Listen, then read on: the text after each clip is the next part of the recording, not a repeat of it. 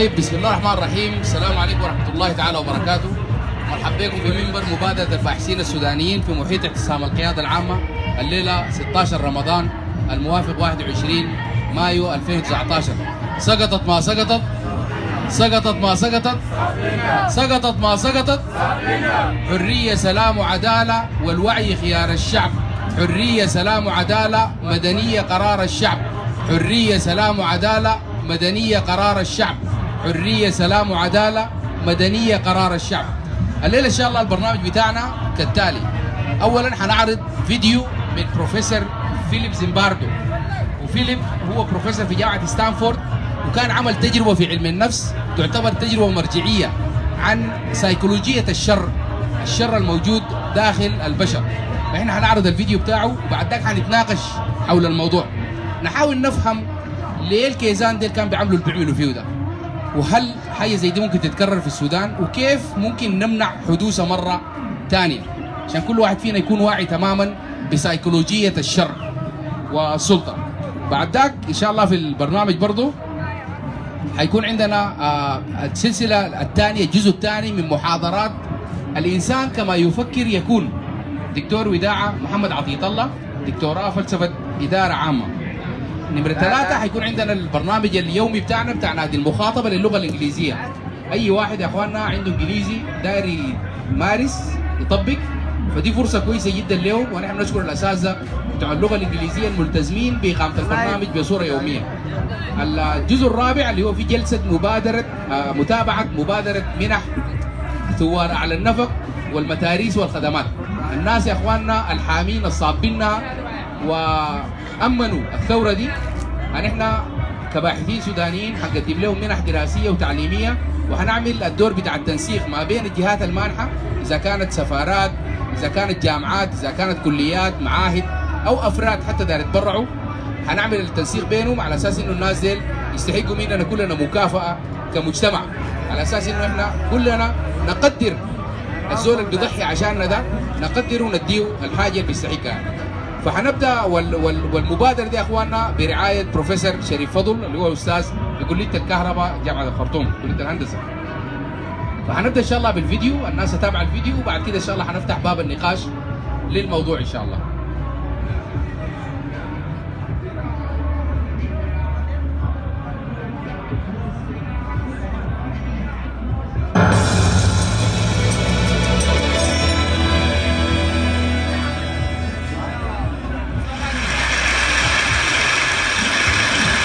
Philosophers, dramatists, uh, theologians have grappled with this question for centuries. What makes people go wrong? Interestingly, I asked this question when I was a little kid. When I was a kid growing up in the South Bronx, inner city ghetto in New York, I was surrounded by evil, as all kids are who grow up in the inner city. And I had friends who were really good kids who lived out the, the Dr. Jekyll, Mr. Hyde scenario of Robert Louis Stevenson. That is, they took drugs, got in trouble, went to jail, some got killed, uh, and some did it without drug assistance.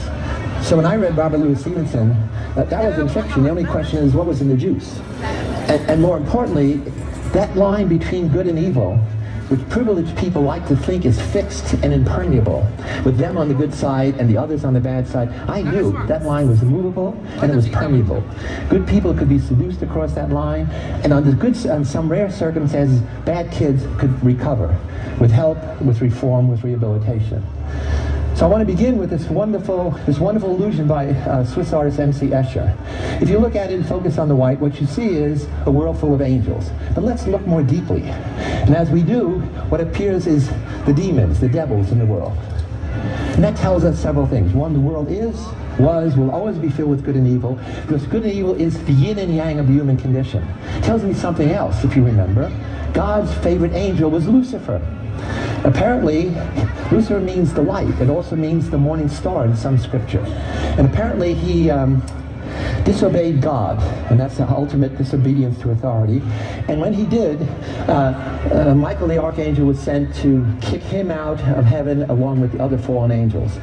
And so Lucifer descends into hell, becomes Satan, becomes the devil. The force of evil in the universe begins. Paradoxically, it was God who created hell as a place to store evil.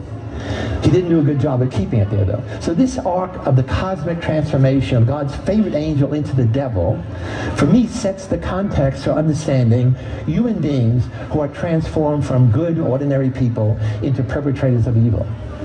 So the Lucifer effect, although it focuses on the negatives, the negatives that people can become, not the negatives that people are, uh, leads me to a psychological definition.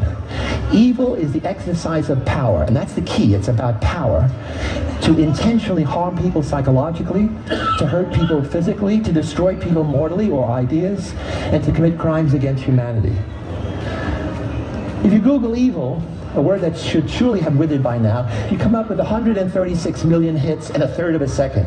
A few years ago, I'm sure all of you were shocked, as I was, with the revelation of American soldiers abusing uh, prisoners in a strange place in a controversial war, Abu Ghraib in, in Iraq. Uh, and these were men and women who were uh, putting prisons through un unbelievable humiliation.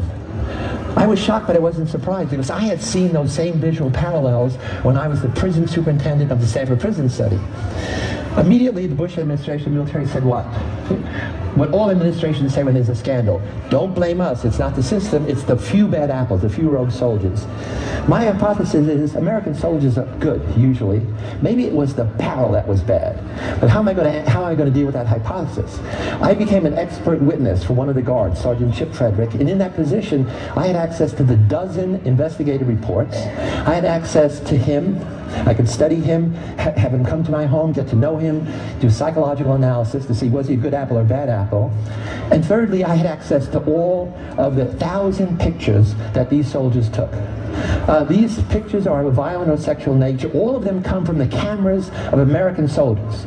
Because everybody has a digital camera, a cell phone camera, they took pictures of everything, more than a thousand. And what I've done is I organized them into various categories. But these are by United States military police army reservists. They are not soldiers prepared for this mission at all. And it all happened in a single place, 1A, on the night shift. Why? 1A was the center for military intelligence. It was the interrogation hold. CIA was there, interrogators from Titan Corporation, all there, and they're getting no information about the insurgency. So they're going to put pressure on these soldiers, military police, to cross the line, give them permission to break the will of the enemy, to prepare them for interrogation, to soften them up, to take the gloves off. Those are the euphemisms. And this is how it was interpreted. Let's go down to that dungeon.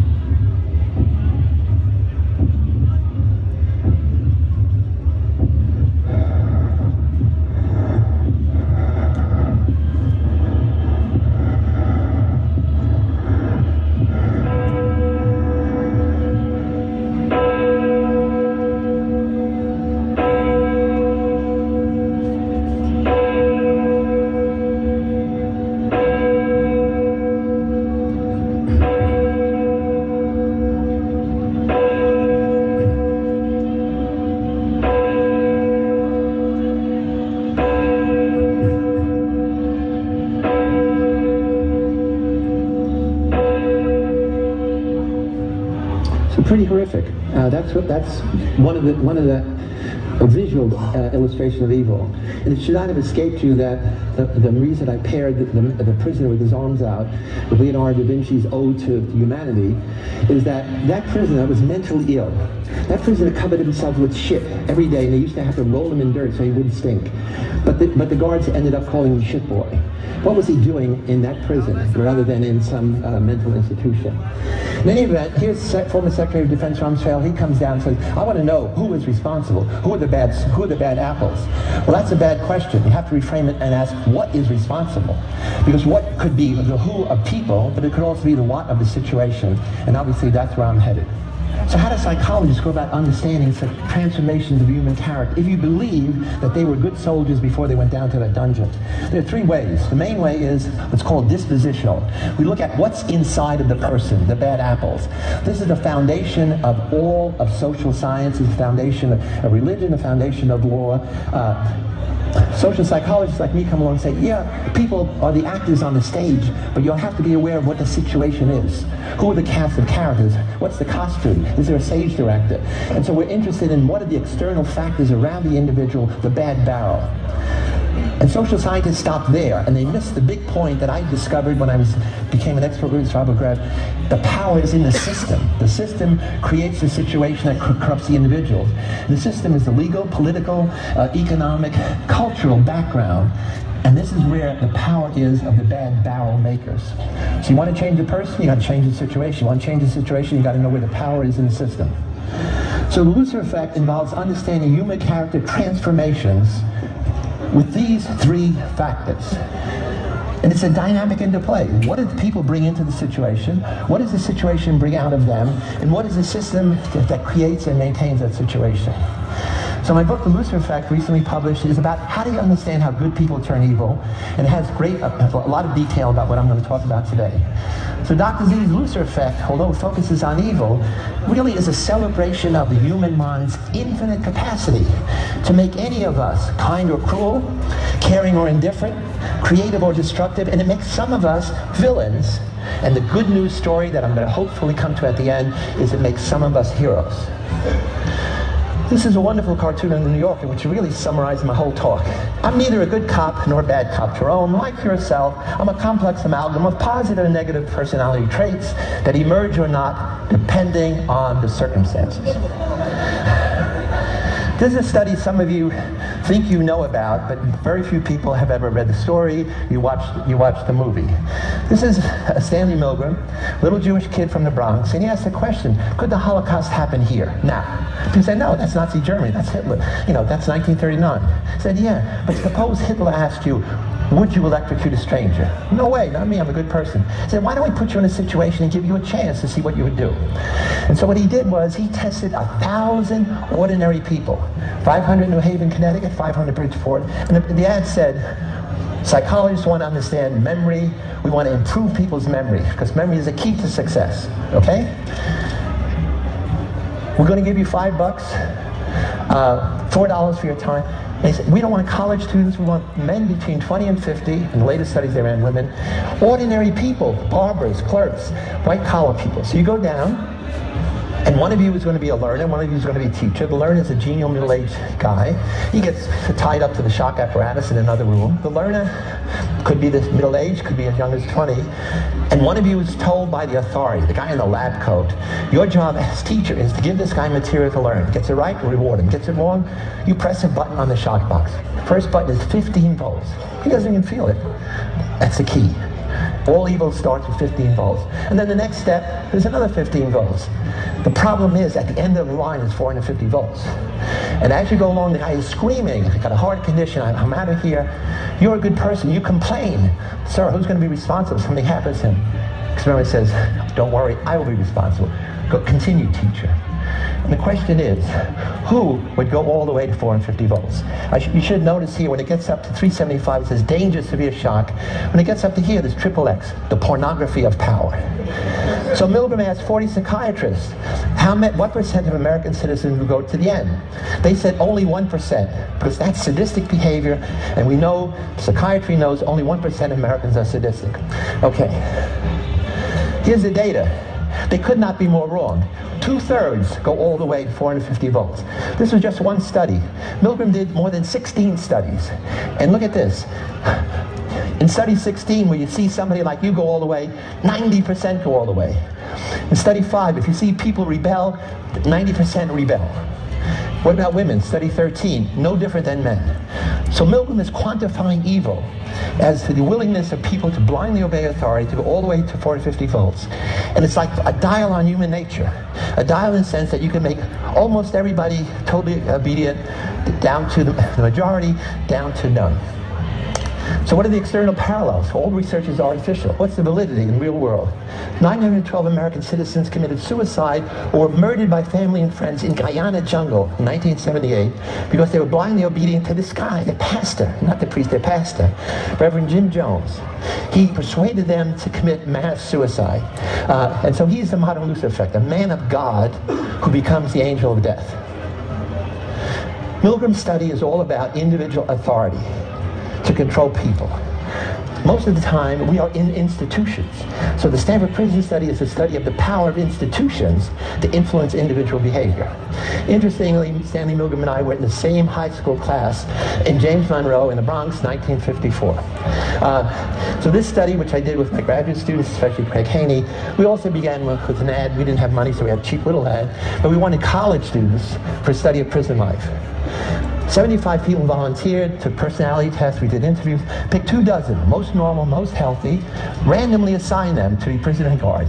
So on day one, we knew we had good apples. I'm going to put them in a bad situation. And secondly, we know there's no difference between the boys who are going to be guards, the boys who are going to be prisoners. The kids who are going to be prisoners, you said, wait at home in the dormitories, the study will begin Sunday. We didn't tell them that the city police were going to come and do realistic arrests.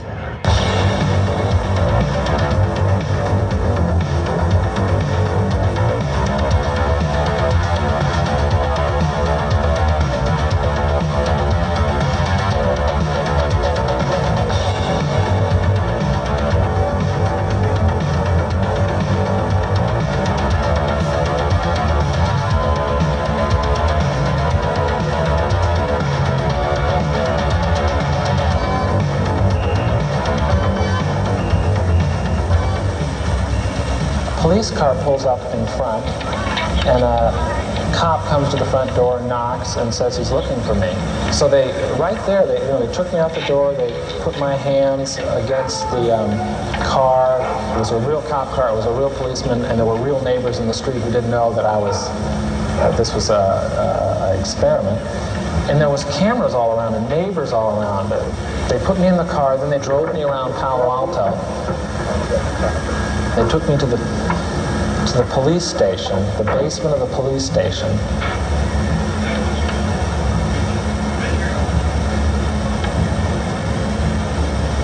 Then they put me in a cell. I was the first one to be picked up, so they put me in a cell, which was just like a room with a door with bars on it. Uh, you could tell it wasn't a real jail. They locked me in there in this degrading little outfit. They were taking this experiment too seriously. Here are the prisoners who are going to be dehumanized. They're going to become numbers. Here are the guards with the symbols of power and anonymity. Uh, guards get prisoners to clean the toilet bowls out their bare hands, to do other humiliating tasks. They strip them naked. They sexually taunt them. They begin to do degrading activities, like having them simulate sodomy. You saw simulating fellatio uh, in soldiers in Abu Ghraib. My guards did it in five days. The stress reaction was so extreme that normal kids we picked because they're healthy had breakdowns within 36 hours. The study ended after uh, six days because it had, was out of control. Five kids had emotional breakdowns. Does it make a difference if warriors go to battle, changing their appearance or not? Does it make a difference if they're anonymous in how they treat their victims? We know in some cultures they go to war, they don't change appearance. In other cultures they paint themselves like water the flies. In some they wear masks. In many they wear, soldiers are anonymous in uniform. So with this uh, anthropologist, John Watson found 23 cultures that had two bits of data. Do they change their appearance? 15. Uh, do they kill, torture, mutilate? 13. They don't change their appearance, only one of eight kills, torture, mutilate. The key is in the red zone. If they change their appearance, 12 of 13, that's 90%, kill, torture, mutilate. And that's the power of anonymity. So what are the seven social processes that grease the slippery slope of evil? Mindlessly taking the first small step. Dehumanization of others. De-individuation of self. Diffusion of personal responsibility. Blind obedience to authority. Uncritical conformity to group norms. Passive tolerance of evil through inaction or indifference. And it happens when you're in a new or unfamiliar situation. Your habitual response patterns don't work. Your personality and morality are disengaged. Nothing is easier than to denounce the evildoer. Nothing more difficult than understanding him, Dostoevsky tells us. Understanding is not excusing. Psychology is not excusiology. So social psychological research reveals how ordinary good people can be transformed without the drugs. You don't need it. You just need the social psychological processes. Real world parallels. Compare this with this. James Schlesinger, I'm going to have to end with this, says psychologists have attempted to understand how and why individuals and groups who usually act humanely can sometimes act otherwise in certain circumstances. That's the Lucifer effect. And he goes on to say, the landmark Stanford study provides a cautionary tale for all military operations. If you give people power without oversight, it's a prescription for abuse. They knew that and let that happen. So another, another report, investigative report by General Fay, says the system is guilty. And in this report, he says it was the environment created Abu Ghraib by leadership failures that contributed to the occurrence of such abuse. And the fact that it remained undiscovered by higher authorities for a long period of time. Those abuses went on for three months. Who was watching the store? The answer is nobody. I think nobody on purpose. He gave the guards permission to do those things, and they knew nobody was ever going to come down to that dungeon. So you need a paradigm shift in all of these areas. The shift is away from the medical model that focuses only on the individual. And the, the shift is toward a public health model that recognizes situational and systemic vectors of disease. Bullying is a disease. Prejudice is a disease. Violence is a disease. And since the Inquisition, we've been dealing with problems at the individual level. And you know what? It doesn't work. Alexander Solzhenitsyn says the line between good and evil cuts through the heart of every human being. That means that line is not out there. That's a decision that you have to make. That's a personal thing. So I want to end very quickly on a positive note. Heroism as the antidote to evil. By promoting the heroic imagination, especially in our kids, in our educational system, we want kids to think, I'm a hero in waiting, waiting for the right situation to come along, and I will act heroically. My whole life is now going to focus away from evil that I've been in since I was a kid to understanding heroes. The banality of heroism is it's ordinary people who do heroic deeds. It's the counterpoint to Hannah Arendt's uh, banality of evil. Our traditional societal heroes are wrong because they, they are the exception. They organize their whole life around this. That's why we know their names. And our kids' heroes are also wrong models for them because they have supernatural talents. We want our kids to realize most heroes are everyday people. And the heroic act is unusual. This is Joe Darby. He was the one that stopped those abuses you saw because when he saw those images, he turned them over to a senior investigating officer. He was a low-level private, and that stopped it. Was he a hero? No. They had put him in hiding because people wanted to kill him and then his mother and his wife. For three years, they were in hiding. This is the woman who stopped the Stanford prison study. When I said it got out of control, I was a prison superintendent. I didn't know it's out of control. I was totally indifferent. She came down, saw that madhouse, and said, you know what? It's terrible what you're doing to those boys. They're not prisoners, they're not guards, they're boys, and you are responsible. And I ended the study the next day. The good news is I married her the next year.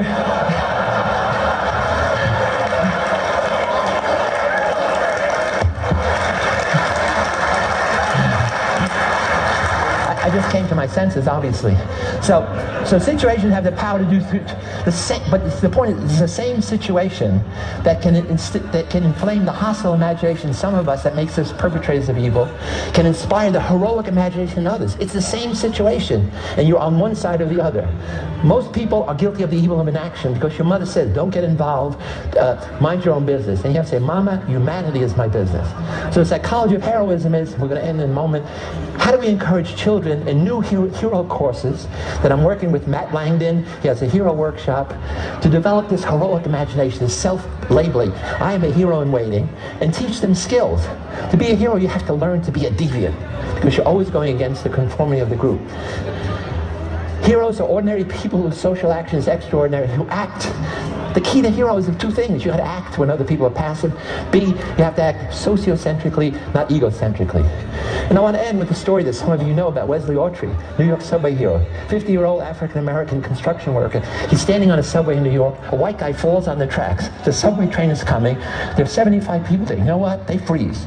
He's got a reason not to get involved. He's black, the guy's white, and he's got two little kids. Instead, he gives his kids a stranger, jumps on the tracks, puts the guy between the tracks, lays on him. Subway goes over him. Wesley and the guy, 20 and a half inches height. The train clearance is 21 inches. A half an inch would have taken his head off. And he said, I did what anyone could do, no big deal to jump the tracks. And the moral imperative is, I did what everyone should do. And so one day you will be in a new situation. Take path one, you're going to be a perpetrator of evil. Evil meaning you're going to be Arthur Anderson. You're going to cheat or you're going to allow bullying. Path two, you become guilty of the evil of, of passive inaction. Path three, you become a, a hero. The point is, are we ready to take the path to celebrating ordinary heroes, waiting for the right situation to come along to put heroic imagination into action? Because it may only happen once in your life. When you pass it by, you'll always know, I could have been a hero, and I let it pass me by. So the point is thinking it and then doing it. So I want to thank you, thank you, thank you. Let's oppose the power of evil systems at home and abroad, and let's focus on the positive. Advocate for respect of personal dignity, for justice and peace, which sadly our administration has not been doing. Thanks so much.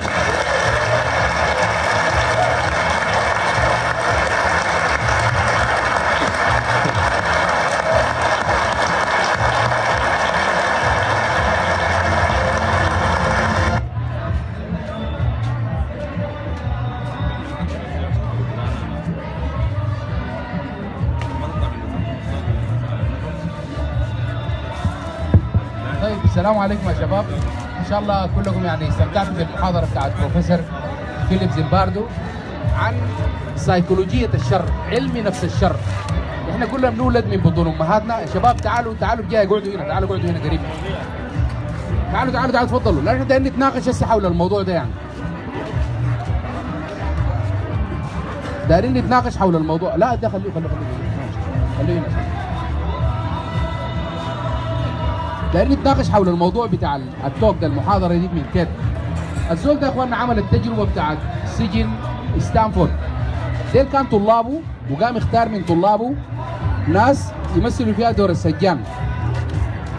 بوليس وسجانين. واختار طلاب تانيين إنهم يكونوا هم المجرمين. الطلاب ديل كلهم طلابه. يعني تخيل أنا عندي طلاب في السنة الثانية ولا الثالثة أقوم أختار منهم. ناس منكم حيكونوا سجانين وناس منكم حيكونوا مسجونين. وقال لهم أي حاجة عايز تعملوها اعملوها. الطلاب عملوا شنو؟ من اعتقال الزول في البيت لحد ما ودوه في السجن لحد ما خلوه ينظف الحمام بيدينه. يدينه ساي من غير أي يعني أدوات بتاعت نظافة. لحد ما بيجوا يسقعوه كهرباء. الكهرباء نفسها بدت من من جرعة بسيطة كده لحد ما يوصل 450 واط. يعني حاجة بتقتل. في خلال 36 ساعة الطلاب المسجونين انهاروا تماما. التجربة دي هو لما عملها في السبعينات في جامعة ستانفورد. اتكررت المناسبة كان بتاعت المحادثة دي إنه اللي حصل من الجنود الأمريكان في سجن أبو غريب في في العراق. إنهم عذبوا المساجين ويعني انتهكوا حقوقهم انتهكوا انتهاكات جنسية وإلى آخره وإلى آخره. فهو المحور بتاع المحاضرة إنه من وين بيجي الشر ده أنا مع زول ده كويس. بكرة مشيت اشتغلت في جهاز الأمن فجأة كده بديت اعذب في الناس وأضربهم وأعتقلهم وأغتصبهم وأقتلهم زي ما حصل للشهيد أحمد الخير الأستاذ مش كده؟ فمن وين بيجي الشر ده؟ في المحاضرة بتاعته بيقول إنه الشر بيجي من وين؟ بيجي من السلطة المطلقة أول ما الزول عنده سلطة ما ما في زول بيسأله بيعمل الحاجة اللي في راسه طوالي أنت زول كويس لكن لما لقيت السلطة والسلطة دي بقت مطلقة طوالي بقيت شنو؟ بقيت زول سيء. فدي الأساس بتاع الشر الشر الكامن جوانا ده. كل واحد فينا ممكن يكون شرير. أي واحد فينا. لكن في المحاضرة برضه بيلقي الضوء على حاجات. اللي اسمها الأنونيميتي الإخفاء. قال في قبائل لما تقدر تحارب بتقوم بت... بتعلم نفسها. الزول بيبقى كأنه ما نفس الزول. الكلام ده مذكرين بيحصل وين؟ الميليشيات بتاعت الظل. مش كده؟ ماليشيا الظل ده مع زول لابس زي زيكم كده. فجأة بيلبس له لبس ثاني بتاع دعم سريع ولا بتاع جيش وبيرتكب انتهاكات باسم البتاع ده. في علم النفس دي اسمها deindividuation إنك بتفصل شخصيتك من الحاجة الداير تعملها أو تفصل نفسك من المجموعة. مش كده؟ وفي عبارة طوال الناس بيقولوها يقول لك والله السودانيين دول عمرهم ما يتقدموا. ماسك السلاح ده ولا ماسك مفتاح السجن ولا بتاع؟ لو ما مقيد بقانون ان إحنا بنكون نكرر نفس المشاكل بتحصل لنا. لأنه اللي حصل من الجنجويد في دارفور ممكن يحصل مرة ثانية مش كده؟ مع ناس عندهم سلطة مطلقة وعندهم سلاح. انت مدني وهم عندهم السلاح. والكلام ده بيحصل من الشرطة الكجر. لما يستخدموا البومبان كسلاح بدل ما هو المفروض تنبه الناس إنك حترمي بومبان لا انت تشيله وتبيعه مباشره في النار ده غير استخدام القنابل الصوتية واستخدام الأسلحة القاتلة يعني الرصاص الحي. مش كده؟ فدي الفكرة بتاعت المحاضرة. انه أخواننا نعرف انه كل واحد فينا أي واحد فينا ما يعمل فينا زول زول فينا يعمل فيه إنه كويس. أي زول فينا ممكن يكون شرير لو بقى عنده سلطة مطلقة. عشان كده لما نقول دولة مدنية دولة سيادة القانون لازم الناس تصير على الموضوع ده وتطبق القانون. الليلة يا أخواننا ناس ال- النيابة العامة معاهم أمر قبض ضد صلاح قوش الليلة. مشوا عشان ينفذوا أمر القبض وفيه تفتيش لمنزله. ال- العربات ال- ال- التاتشرات الدوشكات الواقفة قدام بيته تحرسه. وجهت الدوشكة تجاه وكلاء النيابة. إنه ما في زول يفتش البيت ده. فده بوري إنه لحد الآن لم تسقط بعد. لحد اللحظة دي لم تسقط بعد. لأنه النيابة المفروض إنها عندها سلطة مستقلة. ما في زول لو قالت نقبض ده نقبض ده نفتش ده نفتش ده. دي أعلى سلطة. مش السلطة بتاعت الزول اللي راكب الدوشكه بفوق تاني حاجة يا إخواننا في المحاضرة برضو ورى إنه البطولة مهمة. لو لقيت حاجة غلط قدامك تقيف ضدها. لأنه الإنسانية مهمة. الإنسانية بتهمنا كلنا. لو الزول الجنبي إنساني أنا بضمن حياتي. لأنه لو في واحد جاي يضربني بعصاية ولا بخرطوش ولا بدوشكه ولا شيء ما بيرضى. مش كده؟ ومن هنا يا إخواننا نتذكر حامد الجامد. مش كده؟ حامد مش كان عنده تعليمات بالانسحاب؟ مش كده؟ حامد على السودانية والوطنية بتاعته على التعليمات. لو ما موقفه البطولي كان الناس يتبلد كلها. كان بقينا نحن عرضة لموت أول ناس الشباب اللي كانوا موجودين يوم 6 أبريل كان ممكن كلهم يكونوا الآن ميتين في عداد الاموات فالإنسانية مهمة. الموضوع بتاع سجن أبو غريب في العراق من الجنود الأمريكان اللي وقفوهم العراقيين. وقفته الزول اللي بقت زوجته لاحقا. دي اللي قالت يا اخوانا ده شنو اللي بتعملوا فيه ده؟ ليه بتنتهكوا حرمات الناس كده؟ الكلام ده غلط وهي اللي رفعت التقرير. لحد ما كان وزير الدفاع في وقتها جاء في التحقيقات بتاع الموضوع ده العراق. بعد مرات الزول اللي فوق بيكون ما عارف. المشكلة الكبيرة لما نعرف ويعمل نايم. دي هنا السلطة ما بتصحح نفسها. ده عشان زولنا ده عشان مؤتمر وطني ده عشان حركة إسلامية. مشوا له. وفي كمية بتاعت انتهاكات حصلت بالحكاية دي. في كمية بتاع الشباب غض كان ممكن يكون جزء من بناء السودان المستقبلي.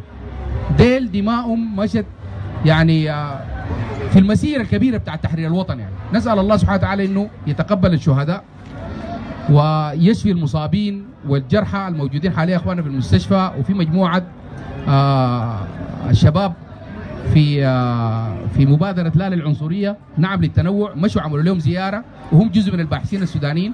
يا إخوان نتمنى إنه كل زول فيكم يمشي يزور الناس دي ويرفع معنوياتهم عشان ما يحسوا انهم براهم. الناس دي جزء مننا الناس دي ضحوا بدمائهم عشاننا نحن. فهسه أنا أترك المايك لكم كلكم كل واحد يتكلم عن سيكولوجية الشر. ممكن أي واحد فيكم يحكي حكاية يوري الشر حصل قدامه هو وقفه. الحاجة دي مهمة جدا إنه نذكر نفسنا بإنه الإنسانية مهمة وإنه الوطنية مهمة وإنه أي غلط يحصل قدامك لازم تكون جزء من حله. فالمايك مفتوح لكم يا شباب عن سيكولوجية الشر علم نفس الشر. بسم الله الرحمن الرحيم. أخوكم محمد محمد البكر الجديدة طبعا كلام النصح ده بالديني قصة اللي كانت في السودان تتذكروها حقت ود الجبل. آه، ولده قتل واحد وهربوه ودوه. في السودان ما حكم الزول ده بدك برضه إنه الناحية الاقتصادية المادية خلي في نفسك إنك أنت تشتري أي حاجة بالقانون تشتري أي حاجة. قصص كثيرة في ناس منها ماتوا قدام الناس. الح- الحكم ما تحاسبوا ليه؟ لأنه كلهم شنو؟ محميين بأموال. يا ممكن عندهم سلطة في البلد دي. صح ولا ما صح؟ الناس المحاضرة دي غير قيمة جدا والله. السلام عليكم. أي مداخلة؟ تعال تفضل. الدار يتكلم الشباب يجوا بيجي بيجي تعال اقعدوا هنا برضو الترابيز يا شباب. السلام عليكم يا شباب. طبعا بحيي الثورة وما شاء الله يعني. السودان متقدم في الثورة ضد الكيزان الحكومة الظالمة ولا للعنصرية طبعا. يلا يا شباب أنا اسمي ياسين خالد آه، طالب بدرس في جامعة السودان للعلوم والتكنولوجيا. وبجد كده يعني من سنين أنا كنت بقرأ حاجة اسمها كيزان. من سنين لأنه يعني هم شباب بيكونوا قدرنا كده في الجامعة في نفس عمرنا. ما أقوى مني ولا بيصرف علي ولا اي حاجة. لكن باسم الكيزان والأخوان المسلمين بي بيتصرف معي تصرفات كده يعني كأنه أنا هامش عنده يعني حاجة كده ولا اسوء يعني إنه أنا ممكن أكون يعني دراسة كده أحسن منه أحسن من غيره أحسن من العين ذاته أحسن من المكتب فوق. غايته الله يحمي السودانيين و... ويرفع السودان. وما شاء الله يا ناس الثورة ما شاء الله الله يحفظها ويقدمها. وبنتمنى إنه شنو البلد تكون آمنة وسالمة. تسلموا شكرا لكم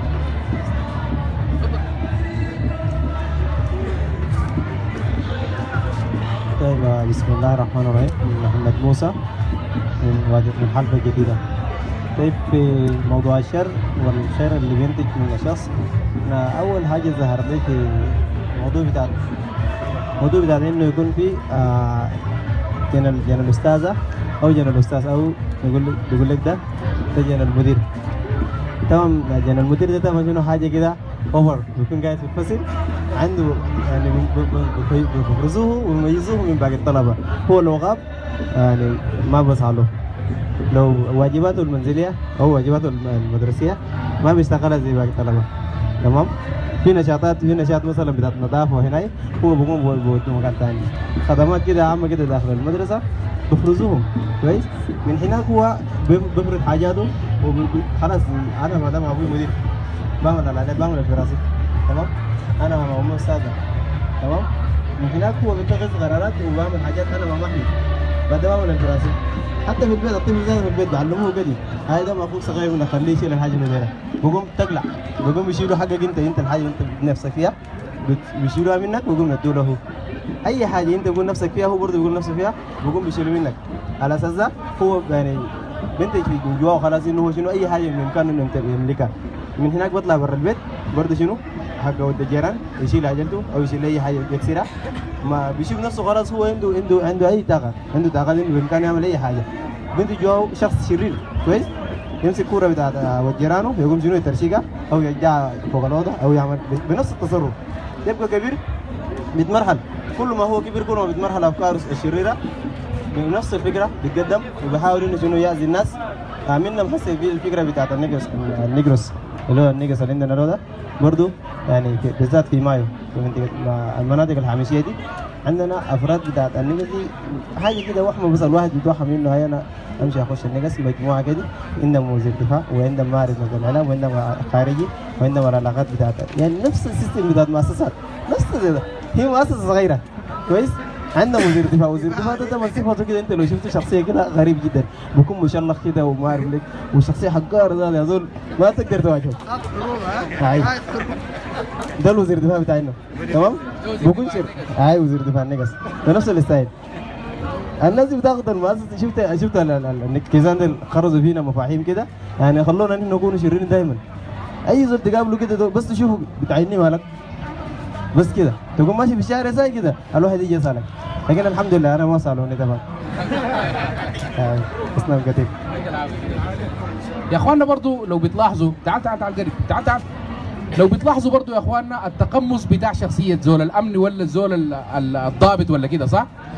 يعني الزول لما يجي يقف له في آه، تفتيش ولا بتاع ولا يجي داخل المطار ولا داخل له مستشفى معاك ما عارف منو بتاع البتاع. كلام كده فيه طنطنة. على أساس إنه يفرض إنه سلطة. مش كده؟ التقمص ده خطير جدا جدا. يعني أنت لما تتقمص شخصية زول ممكن يكون ظالم وفاسد دي مشكلة. مش كده؟ أنت عايز تتلبس وتبقى زول تاني ما أنت. الزول التاني ده عبارة عن سلطة بس. وسلطة غاشمة وفاسدة يعني. فالناس انتبه برضو لإنه بعد مرات إحنا داخلنا بتكون في ممارسات بتميل للشر. فالزول يودي نفسه في اتجاه يعني يكون واعي بإنه ما تتقمص شخصية. أنت مواطن عادي مواطن عادي. ده عسكري ده عسكري. كل واحد فينا عنده شغل يعني. تفضل. بسم الله الرحمن الرحيم. محمد أبو بكر موسى. آه أنا داير أوضح بالنسبة لأمني زي ما قال. أنت طرحت ال- الموضوع بيتعلق أكثر بأمني أمن الدولة مثلا. بالتعذيب ولا ال- ال- ال- التعذيب النفسي والقتل والمهم والمعنوي والكلام زي ده. كثير وأكثر بتحصل في الجامعات السودانية. مارسوها هم طبعا وقدروا صحيح يسيطروا في آه، طلاب الجامعات بالنسبة ل آه، مظاهرات أو أي حاجة. المهم وطردوا وشردوا بنفس الكلام. التعذيب كيف؟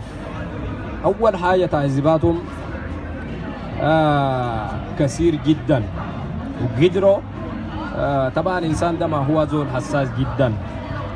يعني زول يحبشوها في محلات الحساسة والله وبغلي يعني بق يعني بقر. وبغلي يعني هو نفسه إنه يا أخي ليه ذاته عايش في الكلام دي؟ ونفس الكلام آخر لدرجة للأستاذ حسن لو. وكثير جدا. التعذيب نفس الكلام الحسي هنا ترواه وجابوا الصور. أول حاجة معنوي وتعذيب يعني جسدي. يعني مثلا يقول لك انت انت ذاتك ما تستاهل يا أخي. جاي من وين؟ انت جاي من دارفور. ما تستاهل ذاته يعذبوك عذاب ده. انت ده عذابك كده مثلا. يقوموا يستخدموك بكده انت جاي من شرك. يا أخي ده حبشي. مثلا ده ذاته ما سوداني ما بشبهك. يعني بمعنوي. أي إنسان أو إنسان الوسط كده. والتعذيبات ده انواع كثير كهرباء ما عارف تتعرض للجنس. وين وين؟ وأخطر حاجة يا هو دي الإنسان اللي ما بيقبلوا ياخذ الجنس.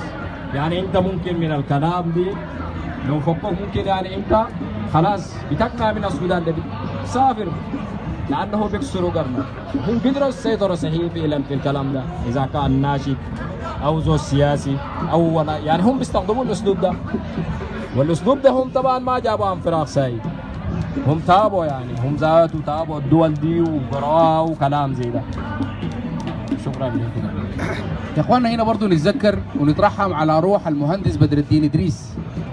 ده كان موظف في وزارة الإسكان تقريبا ومسكوه ناس الأمن وعذبوه تعذيب لا أخلاقي شديد البشاعة. والكلام ده موثق في رسالة دكتور فاروق محمد إبراهيم لعمر البشير حينئذ المقلوع بواسطة آه السفير محمد عبد الحليم في القاهرة. المهندس بدر الدين إدريس بعد تعذيبه ده طلع زي ما قال الأخ سيتفضل طلع منتهي معنويا. لما طلع من من المعتقل قتل زوجته وأبو زوجته وانتحر. ربنا يتقبلهم جميعا. عشان كده يا اخواننا لازم في السلطة المدنية لازم الجهاز ده يعاد هيكلته ويرجع يعمل شغله حسب الوثيقة بتاعت الحريات في دستور 2005 جمع المعلومات وتحليلها وتقديم المشورة. جهاز الأمن ما ما المفروض يكون عنده سلطة بتاعت قتال. ما المفروض يكون عنده سلطة بتاعت قتال. في أمريكا دي في وكالة الأمن القومي National Security Agency NSA تحتها في CIA المخابرات الخارجية وفي ال FBI المخابرات الفيدرالية. ما في زول من ديل بيكون شايل له دوشكا. ده كلام فارغ ده. وبقروشي أنا المواطن. أنا ده تشيل من الميزانية بتاعتي بتاعت التعليم والصحة تدخلها لي في دوشكات. وما في اوديت ما في محاسبة. الناس دي تصرف ساعه على كيفها. الأسوأ من كده استثمارات. تلقى عندهم شركات كل ضابط نزل له ولا بتاع تلقى مدير شركة بيصرف ملايين الملايين. ده زول عنده مصلحة في إنها ما تسقط ده زول عنده مصلحة في إنها تكون قاعدة. يتآمر ويجيب لك ميليشيات ظل ويضربوك هنا في الاعتصام ويضربوك في أي حتة. فالكلام ده يا إخواننا خطر جدا جدا. السلطة مفسدة. السلطة المطلقة مفسدة مطلقة. لازم نكون واعيين تماما لأنه الشر ده كان من جوانا. مجرد ما اديناه فرصة حينتشر وحيدمرنا كلنا.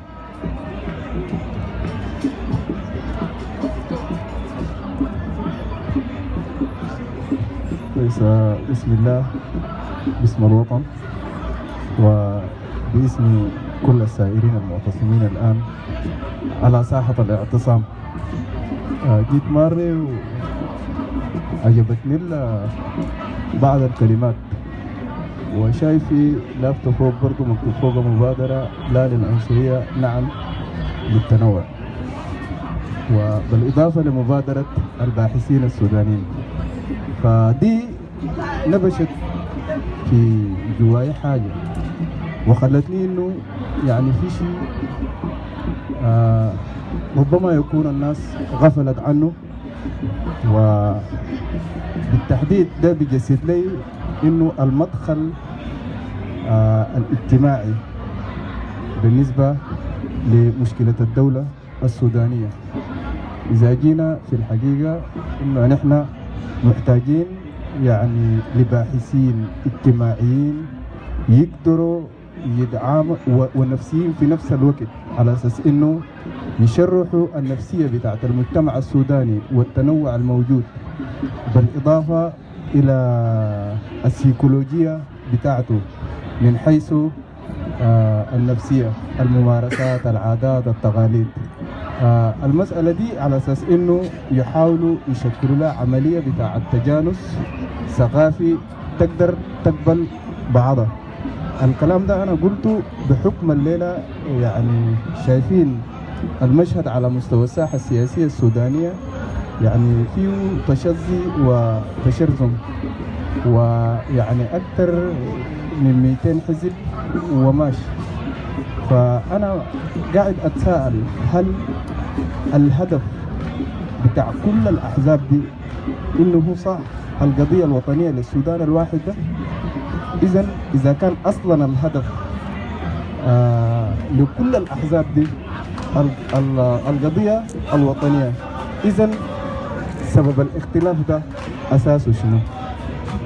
ده سؤال مهم محتاج لإجابة مهمة وكلنا نسأل أنفسنا. وإذا جينا سألنا أنفسنا بالمناسبة في الإطار ده بنلقى الإجابة إنه هي يعني بتتشكل في إطار عدم قبول الآخر. ومشكلة عدم قبول الآخر يعني بتلقاها مكرسة من ناحية اجتماعية من داخل البيت. فدي محتاجة لأنها تقدم فيها بحوث بشكل جادي وعلمي بعد ذاك تاخذ سياق المنهجي وتضع المعالجات بتاعتها وتساق بالمناسبة من خلال العملية التعليمية على أساس إنه بعد ذاك تقوم لنا جيل سليم ومعافى عنده قدرة قبول الآخر و يعني برضو الجانب الثاني ال- الوطنية. لأنه الوطنية نحن فقدناها بجد والآن يعني أنا بعيد كوجهة نظر خاصة بالنسبة لي بعيد على على كل القيادات السياسية وكل رؤساء الأحزاب الموجودة الآن. أنا بقولهم كلهم بالمناسبة محتاجين لأنه ينزلوهم دورة بطاعة وطنية على أساس إنه ما في سبب واحد أنت همك الوطن وأنا همي الوطن بيخليني أنا وأنت نختلف على الإطلاق. فالجانب ده مهم ودي رسالة أنا قصدت أوصلها والتنوع يعني لو قدرنا قدرناه هو سراء وقنا بنقدر بنوظفه وبنستفيد منه لأنه التنوع الناس قاعدة تبحث عنه وبتشتريه بقروشة من خلال ال- من آه، من خلال الهجرة وكده. طيب نحن عندنا ال- التنوع موجود عندنا. مواردنا ما شاء الله كثيرة. السبب أو العائق الوحيد اللي بيخلينا ما نقدر نستغله ونوظفه وبنرجع ب... بنحمل المسؤولية للآخرين وسياسات بتاعت مستعمر وكلام كثير. لكن أنا داير أقول إنه ده يعني ما برحمنا نحن ودي رسالتي آه للباحثين السودانيين على أساس إنه يقدموا لنا في النقطة بتاعت المدخل الاجتماعي كواحدة من الإشكاليات الأساسية بتتفرع منها كل ال- الأطروحات الموجودة سواء كان يعني الليبرالية ولا الديمقراطية. بتلقى كل ال ال الكلام الجميل مكتوب في ال في ال في, ال في البرامج بتاعت التنظيمات السياسية لكن بيظل التطبيق اختبار عسير الامتياز. ليه؟ بناء على إشكاليات اجتماعية مربوطة بالمناسبة بنفسية الشعب السوداني. شكرا جزيلا. شكرا جزيلا. نطمنك إنه يعني الباحثين ال- الاجتماعيين موجودين يعني حوالينا. أنا على يساري اللي هو الدكتور وداعة وعلى يميننا دكتور نيازي. دكتور نيازي متخصص باطنية وعلم النفس واداره الد- الجوده الشامله طبيب. ودكتور وداعة متخصص في الإدارة فلسفة الإدارة. وهو المحاضرة بتاعته المحاضرة الجاية. هنديهم الاثنين فرصة وبعد كده هنمشي على المحاضرة اللي بعدها إن شاء الله. آه، السلام عليكم. آه، اولا أنا دائما بفتكر إنه بالنسبة الحاقا للموضوع الثابت إنه نحن لازم نتعلم كيف نتخلى عن الأشياء اللي انتهى وقتها. ده ضروري جدا جدا. يعني كل ما حصل في السابق لازم نتخلى عنه. صحيح ممكن تكون حصلت خسارة الخسارة بلوى لكن أيضا الخسارة تتبعها فرصة. لو أنت خسرت وظيفة فعندك فرصة إنك تكسب وظيفة أفضل من السابقة أو عندك فرصة إنك تنشئ مشروع خاص بالنسبة لك. فلازم نحن دائما أنا ما بحب الكلام في السلبيات. آه، يعني نقاط ضعفك وحصل وحصل. آه، مفترض إنك تتجاوزها علشان تكون أكثر إيجابية. شكرا جزيلا دكتور. تفضل دكتور نيازي السلام عليكم مساء الخير.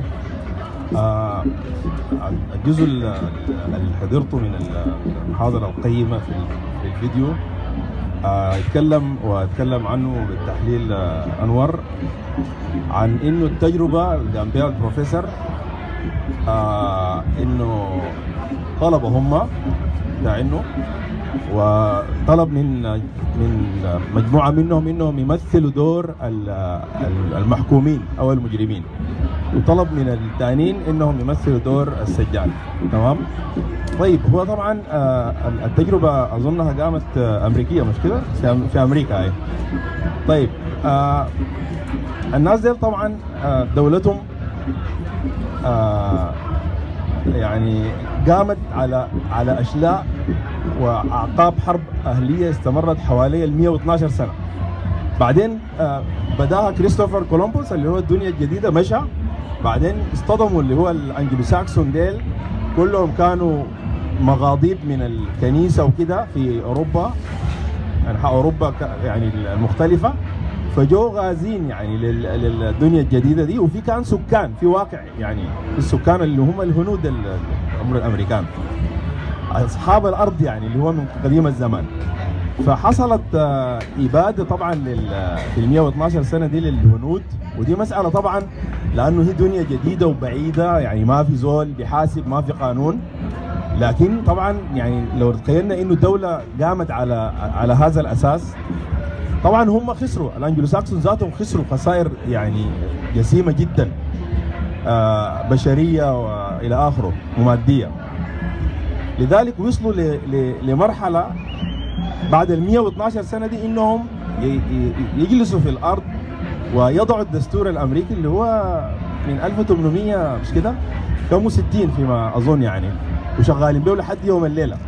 وأنا يعني آه، بقول إنه رغم إنه الدولة الأمريكية الحديثة دي قامت على فعل سلبي كبير اللي هو ناس جو غزوا أرض ناس قاعدين وحرموهم من حقهم وأبادوهم تماما. دول دلوقتي طبعا ال- ال- ال- الهنود ال- ال- الحمر موجودين في أقاصي ال- الولايات المتحدة يعني في في مناطق الغربية في الجبلية في كذا مصرين لحد دلوقتي طبعا إنهم يحافظوا على ال- ال- ال- الهوية بتاعتهم وعلى اللغة وعلى العادات بتاعتهم والتقاليد.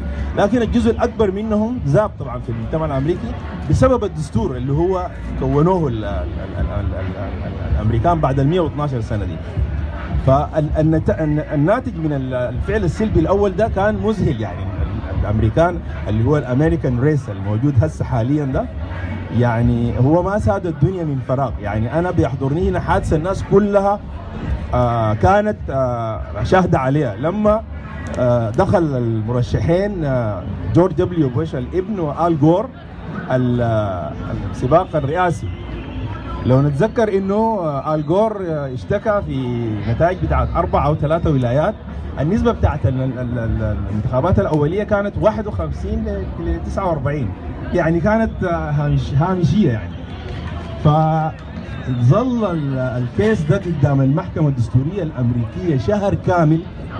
الأمريكان كل الشعب الأمريكي رئيس هيئة أركان الجيش الأمريكي نتخيل لو رئيس هيئة أركان الجيش لو كان سوداني كان قلبه وإغتالهم يعني ودخلهم في يعني يعني يتخلص من الجثث بتاعتهم وهو اللي بقى الرئيس بدري يعني ما ما ما عندها أصلا ما عنده حل غير كده.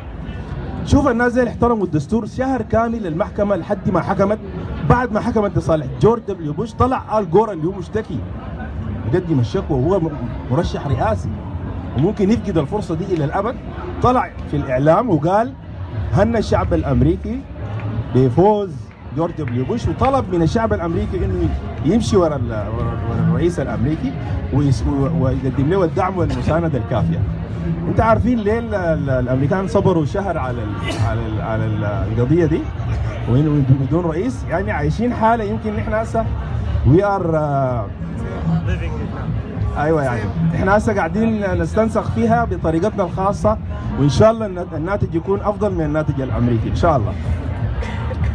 الناس ديل بيصلوا بال voting box الصندوق بتاع الانتخاب الجندي الأمريكي الموجود في أعماق المحيطات في ال submarine واللي موجود في آخر الدنيا لو كان في الشرق الأوسط ولا الأدنى ولا غيره وبيقدموا له بيقدموا له أيوه بيقدموا له الصندوق عشان يعني يختار واحد من المرشحين. لذلك في اطمئنان في ثقة في الدستور وهي دولة بتاع الدستور. طبعا نموذج يعني الناس زي ما حاكمين الدنيا زي ما قلت من فراغ على فكرة. طبعا آه، بيحضرني هنا آه، الهتاف بتاع المخلوع اللي كانوا بيسمعوا له ال- ال- المغنيين معاه قبل الرقصة يعني بتلي الموضوع ده. آه، الطاغية الأمريكان لكم آه، تسلحنا. بعدين آه، أمريكا روسيا قد دنا عذابها. وفي هنا النكتة بتاعت ال- ال- السفير الروسي. فما ما فهم الموضوع. فقام سأل واحد قال له بيقول في شنو؟ قال له بيقول آه، الاثنين يعني بيدعوا على أمريكا وروسيا. قال له both of them يعني أنتوا دايرين تحسموا الاثنين فشوف ال ال ال الوهم وال وال وال والوسواس اللي كانوا عاي- معيشين لنا فيه ال- الحكام. آه على ذكر ال ال ال الحادثة بتاعت البروفيسور أنا قلت الكلام ده جاب يعني جاب الكلام بتاع المجتمع الأمريكي. ال- ال- المشكلة في التجربة بتاعته إنه آه في ال lack of motive يعني ما في ال- الدافعية. بمعنى إنه أنت لما تطبقها في في مجرم حقيقي محكوم نفسيا هو بيكون عنده ال feeling of guilty أيوه يعني حس بالذنب وإنه ارتكب الجرم ويستحق عليه ال- ال- ال- ال- العقوبة. وبالتالي السجان نفسه طبعا ال- ال- ال- ال- النفسية السيكولوجيه بتاعت السجان دائما بيختاروا لها آه، نوع من البشر آه، عندهم ال- الشعور ال- السايكوباثي تجاه يكون عدوانيين تجاه ال- المجتمع. طبعا في كلام عن إنه آه، كلاب الأمن ربنا إن شاء الله نسمع يعني كلام يعني بشاره قريبة إنه حلوا حل الجهاز وإعادة هيكلته لأنه الحادثة اللي أنت ذكرتها بتاعت صلاح جوش آه يعني انذار من الدرجة الأولى. إنه إنه ما تزال الحماية على الرموز اللي اللي هم المفروض يكونوا يعني الآن قيد ال ال ال ال ال الاعتقال والمحاسبة القانونية على أشد درجاتها. على كل الجرائم اللي, اللي, اللي, ارتكبوها في حق الشعب السوداني من واقع مسؤوليتهم المباشرة كمدير لفترتين لجهاز الأمن، الفترة الأولى كانت هي الأكثر دموية لأنه هي اللي أسس فيها آه أيوه بيوت الأشباح وال وال وال وهي اللي عليها آه كافئوه الأمريكان. ومشى طبعا أخذ الريورد بتاعه وجا راجع بطيارة خاصة حتى من غير علم الرئيس يعني. تمام؟ فالنتيجة بتاعت التجربة دي كانت بتكون يعني آه أكثر فعالية وأكثر فائدة إذا كان اتعملت في آه مجرمين حقيقيين. طبعا نحن هنا عندنا هسه حتكون بانوراما غنية جدا من من التاريخ الأسود بتاع المعتقلات واللي مارسوه ضد الناس الإخوة اللي تكلموا هنا بالمناسبة ده نبض يعني ده جزء من من من من حاجة بسيطة جدا. نذر يسير من الكان من البلاوي اللي كانوا بيعملوها في الناس. زي ما قال أنور يعني ما ممكن أنت تكون جهاز أمن. وأول حاجة تعملها تنزع الإحساس ونعمة الأمن من المواطن السوداني. انت معناها جاي داير تأمن النظام وداير تأمن السلطان والرئيس وده اللي كان قاعد يحصل. أنا أذكر انه كنا قاعدين آه زملاء كده في شارع النيل قبل 8 9 سنين يعني أول ما ظهر كده شارع النيل. فمعانا زميلة قاعدة في منظر أنا ما يعني ما أنساه. في ولد وبيت واضح من من السحنات بتاعتهم إنهم يعني ريليتيفز يعني في في قرابة بيناتهم يعني. يعني ممكن تكون خطيبته بنت خالته أخته أي حاجة. يعني تمام؟ في بعض الأخوان طبعا في البيت الأشقاء ما بيتشابهوا فالواحد ممكن يكون ماشي مع مع البيت يفتكروها خطيبته أو كده يعني. أيوه. فجات عربية بتاعت دورية بتاعت جهاز مسكوا الولد طلعوه من العربية. هم كانوا قاعدين قدامنا يعني في الشارع ما عملوا حاجة يعني يعني في قاعدين في العربية ميبي يكونوا بيشربوا أو بياكلوا في حاجة. يعني في عادي الموضوع ده. فشال يعني أخذوهم بالقوة وعاوزين يرفعوهم في ال فقال له أنا هو كان شوية شجاع الولد رغم إنه سنه صغير يعني. قال له أنا عربيتي ما بخليها وبمشي معاكم. أنتوا أنتوا مش ماشيين هي ما بتمشي معاكم أنا وهي نمشي وأنتوا تمشوا ورانا ما في مشكلة. الزميلة اللي كانت قاعدة قالت هو نحن هسه قاعدين وناس محترمين ومهنيين وكده في مجالاتنا. الناس ديل باللي عملوه ده نزعوا النعمة بتاعت الأمن مني. دي الناس الأمن. فكانوا بيتعمدوا زي ما تفضل الإخوة إنهم يجوا بطريقة زي ما أنت قلتها بأسلوب وتغيير بتاع نبرات صوت على أساس إنه نمرة واحد يديك الإحساس بإنه بالهيبة وبالطغيان. ويديك الإحساس الاستعداد النفسي السلبي على إنك أنت ماشي على على مصيبة كبيرة وغالبا ما حتطلع منها. طبعا الناس اللي اعتقلوا في السنوات القليلة الماضية من 2013 لحد 2018 بيكونوا عارفين إنه ما في قانون ما في حقوق دستورية بتطلع عليك لما تخش الجهاز ويمارس عليك يعني صنوف العذاب ويتفننوا فيها. من ضمنها من الحاجات اللي تحكى يعني وحصلت تاجر كبير محتكر يعني اللي هو بتاع جملة. بعدين جننهم جدا فقاموا قبضوه. قبضوه بعدين تخيل عملوا في, الراجل ده شنو؟ جابوا له وليمة من الدرجة الأولى يعني فيها ما لذ وطاب. فطر ويتغدى ويتعشى افتكر إنه الناس دي الكرمة. فقاموا منعوا منه إنه يمشي الحمام لمدة يوم أو يومين. الراجل انهار وقال لهم عاوزين عاوزين أوريكم شنو أنا حوريكم ال ال المخازن وانتوا عاوزين بمضي عليه وخلوني أمشي يعني. فشوف الأسلوب يعني دي سادية ما بعدها سادية ده تفنن في تعذيب الناس ما بعده. أذكر 2005 أنا يعني كنت لي سنتين كده تقريبا يا دوب اتخرجت. اشتغلت زي سنة كاملة في السلاح الطبي في قسم العظام. بعدين جات واحدة. she looks يعني nice nice يعني هي يعني about 35 كده years uh, 35 سنة. يعني اشتغلت عندها ماجستير في العلاقات الدولية. وعندها مشكلة مع إنه عمرها ما متقدم شديد عندها مشكلة في الركب وكده المهم اتعالجت يعني بحكم إنه إحنا شغالين في قسم العظام وكده. فقلت لها انت ما شغالة ليه؟ قالت لي أنا الوالد آه، ضابط آه، بالمعاش. وعمل لي توصية مشيت اشتغلت في المجلس الوطني ثلاثة شهور. ود- وفك وبعد ذاك ادوها شهادة وفكوها عكس الهواء عندها أخوها كوز من أمه يعني. جامعة النيلين وسنة ثانية أو ثالثه عنده مكتب في اتحاد ال- ال- الطلاب السودانيين وعربية ونثريات بيمشي بور السودان ويمشي وين؟ ب 1000 جنيه الزمن ذاك مليون يعني. فقالت له أنا ما أختك أمور واضحة زي ما قال الأخ. أنا أختك يعني كبيرة فشغلني معاك يعني شغلوني معاك. يلا عينوا للرد بتاع الزول. طبعا هو الرد فيه تلخيص لل- لل- للي كان حاصل للعقلية بتاعته. قال لها معلش يعني أنت إذا أنت جادة في طلبك أنا ما حقدر أعمل اساعدك قالت له ليه؟ قال لها عشان نشغلك لازم يكون عندك واحد من حاجتين معانا.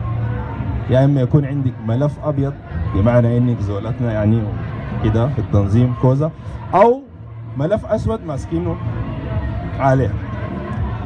فقنعت منه طبعا وخلاص يعني هتعمل شنو؟ أخوها شقيقة. فالعاوز أختم به إنه الغريزة بتاعة الخوف هي أسبق وأشمل وأكثر تاثيرا على على الكائن البشري من ال- الغريزة الشر وهي قد تكون الدافع.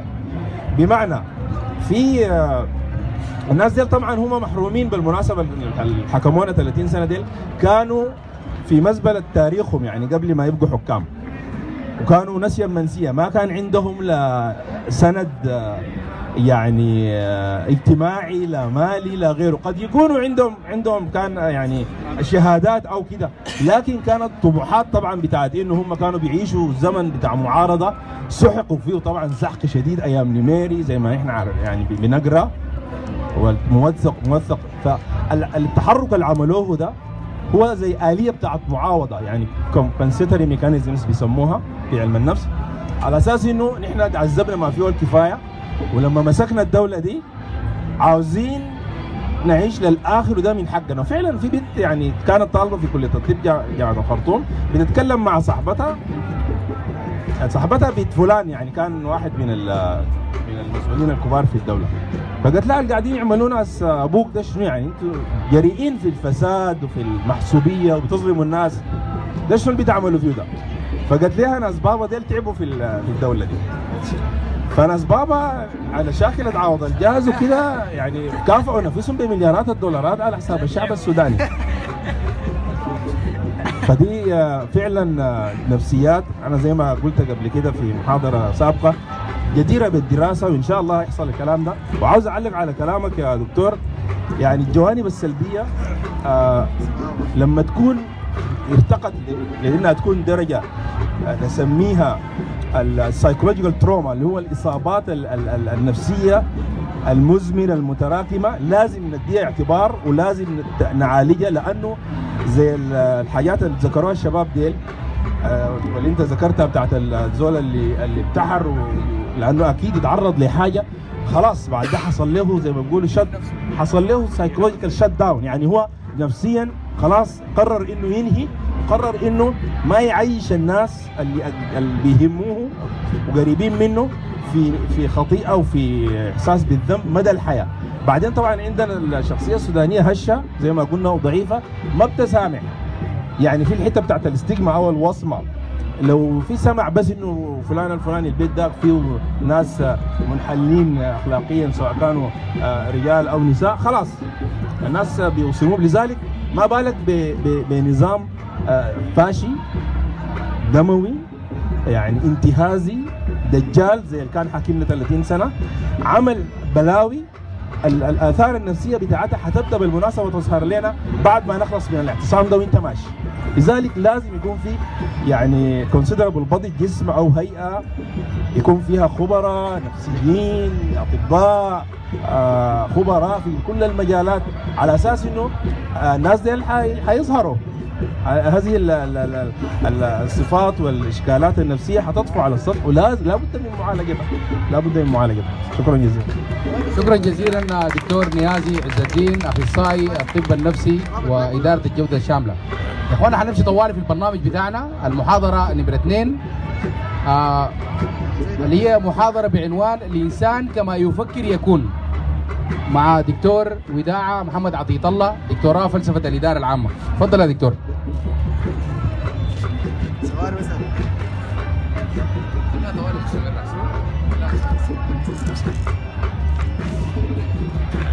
بسم الله الرحمن الرحيم الحمد لله رب العالمين أحمده حمد الشاكرين والصلاة والسلام على صفوة الخلق المبعوث متمما لمكارم الأخلاق وعلى آله وصحبه أجمعين. نحن بدينا سلسلة نتكلم عن موضوع أنه الإنسان كما يفكر يكون. تفكير الإنسان مربوط بالكون يعني بنتكلم عن علم اسمه علم الطاقة الخفية. الكون ليس الكون المرئي أمامنا. في أشياء كثيرة نحن ما بنشوفها لكن العلم وصل لها. وفي مقدورنا إننا نتحكم فيها. في مقدورنا إننا نعيش حياة أسعد وأفضل وأكمل من نحن اللي فيها. إذا عرفنا مفاتيحها. الكون فيه أشياء كثيرة جدا غير موحدة وبتتفاعل مع بعضها البعض. الأشياء الكثيرة رب العالمين عمل لها كنترول بقوانين صغيرة. هذا هو اللي بيهمنا إن نتكلم عن قوانين الكون الربانية. في ال- الحلقة اللي فاتت اتكلمنا عن قانون الجاذبية وتكلمنا عن قانون السبب والنتيجة. اليوم هتطرق لموضوع قانون يسير بمقتضى الكون هو قانون العدالة الصارمة. اللي بينص مثل ما تزرع تحصد. يعني إياك تظن إنك أنت تستطيع إنك تنتج طاقة تدمر بها غيرك وإنت تكون آمن سالم. الطاقة اللي تدمر بها غيرك لابد من إنها تدمرك أنت معاهم. وهذا هو المفهوم بالنسبة للطاقة السلبية. نتائجها عليك وعلى الآخرين. الأفكار السلبية دائما بتطرح في العقل الواعي. ودائما بتكون في حالة يقظة.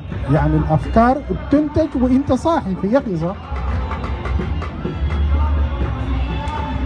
أغلبها أفكار غير ضرورية طالما إنها هي أفكار سالبة فبتكون أفكار غير ضرورية.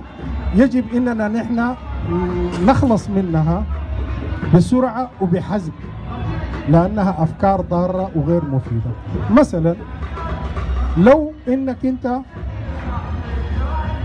يعني خليت نفسك تسترسل إنه ممكن أنت تحصل على ثروة طائلة بالصدفة وبدون تعب أو إنك أنت ممكن تفتح الباب وتلاقي جنب الباب شنطة مليانة. ده نوع من الأفكار السلبية اللي أنت لو سلمت نفسك لها حتضرك أكثر لأنها اولا بتعمل تخدير للوعي. الشيء الثاني بتنشر روح السلبية في السعي. الشيء الثالث إنها بتعمل هدر لطاقة الخيال الإبداعي. طالما أنت عندك خيال ترسم لك سيناريو زي ده في أفكار سالبة فأرسم خيالك ده في حاجة تفيدك. ألف كتاب ألف قصة ألف مسرحية اخترع لك شيء. فنحن لازم نتجاوز موضوع ال ال الأفكار اللي بتطلع على على بالنا. آه الإنسان دائما بيشعر أحيانا من كثرة الأفكار السلبية بيشعر إنه خلاص هو عاجز أو بيشعر بيشعر بال بالشلل. يعني لدرجة إنه الأفكار السلبية الكثيرة في راسه بتخليه بحس كأنه هو مصاب بمس شيطاني. وكلنا عندنا نحن بنتصارع صورا وافكارا. اننا كيف نخلص من الأفكار الغير مرغوبة؟ يبقى السؤال إذا جاء بخاطرنا أفكار سالبة. إيه اللي ممكن نعمله نحن؟ هل نتقبلها ونرحب بها ولا ندخل معاها في معركة؟ الأفكار السالبة ب- بتجينا كأنها دي مثل العصافير عصافير بتطير وبتحوم فوق رؤوسنا ونحن ما عندنا يد فيها لأنها بتنتج اوتوماتيك في. في الدماغ لكن إن سمحنا لها إنها تبني أعشاشها فوق رؤوسنا الآن كده بتجي مسؤوليتنا الأفكار ال- السالبة دائما يعني تعمل عملية ضغط على الإنسان علشان يجسدها في أرض- الواقع. الأفكار السالبة بتفرض على الذهن إنه يتقبلها ويحققها في الواقع. المهم إنه نحن لازم نتخير تفكيرنا لازم نتخير. هي طبعا الأفكار السالبة زي ما قلت زي الطيور بتجي يعني غصبا علينا لكن إذا سمحنا لها إنها تعشعش في عقولنا فبالتأكيد حياتنا ممكن تتدمر. آه.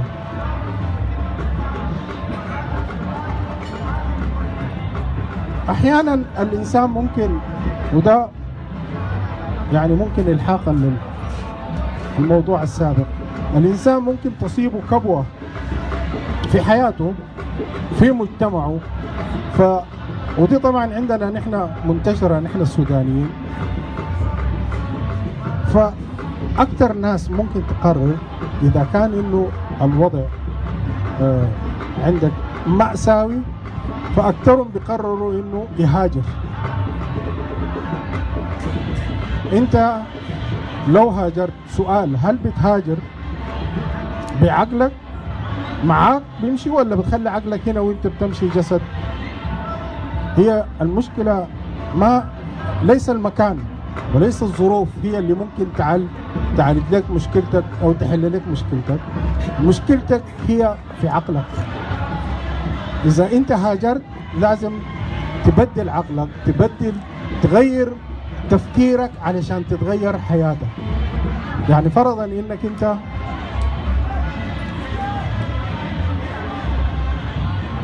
غيرت شكلك غيرت لبسك غيرت ستايلك غيرت شعرك. كل الحاجات دي ما ممكن تغير حياتك. بتغير حياتك لما تغير تفكيرك. طيب السؤال المطروح كيف أبدأ أغير تفكيري عشان تتغير حياتي؟ إجراءات كثيرة ونقاط كثيرة. أنا بتكلم عن أهمها. أهم النقاط النقطة الأولى إنك أنت لازم تعرف نقاط قوتك. كل واحد مننا عنده نقاط قوة في يده لكن هو لا يراها.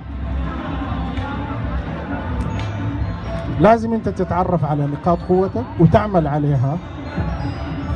و نقطة ترجع للكلام السابق أنا دائما ما بحب أتكلم عن النقاط السلبية.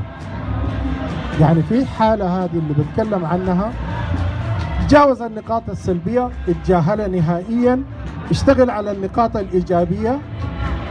رغم إنه أنت شغال على النقاط الإيجابية ممكن تلاقي ناس يعني يسفهون طموحاتك يسفهون آرائك يسفهون أهدافك. ما تهتم بهم. ما تسمعهم أمضي قدما. هيجي اليوم اللي هم حيشاوروا عليك بعد نجاحك إنه هذا هو الشخص اللي كان معانا في الجامعة ولا كان معانا في الحي ولا كان معانا وات ايفر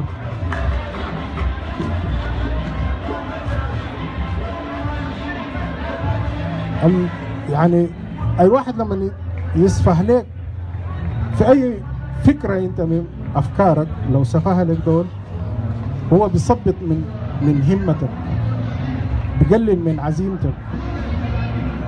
الافكار ال- ال- السلبية الداخلية هي خطيرة جدا جدا على الإنسان لأنها هي اللي بتتحكم في تقدمه أو تأخره وخاصة الكلمات السالمة.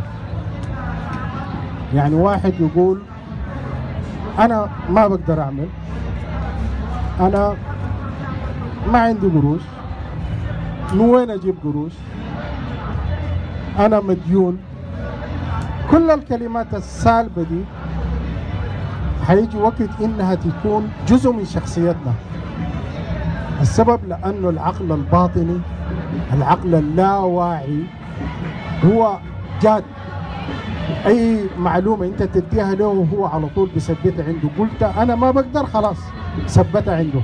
أنا ما عندي ثبتها عنده. فحتكون شخصيتك مطابقة للكلمات اللي انت الكلمات اللي سالبة اللي انت معيشة جواك. ولو انك كان يعني تفكيرك كان مثلا انت بتفكر في تفكير إيجابي وبتفكر في انك انت قادر آه، انك تكون سعيد قادر انك تساعد الآخرين. قادر إنك على النجاح. بالتأكيد حتكون. لأنه المعلومة اللي اديتها لعقلك ال- اللاواعي اديته معلومات إيجابية فبالتالي هو عقلك ال- اللاواعي بي- بيحاول إنه يطلع صورة على نفس المعلومات اللي أنت غذيتها بها.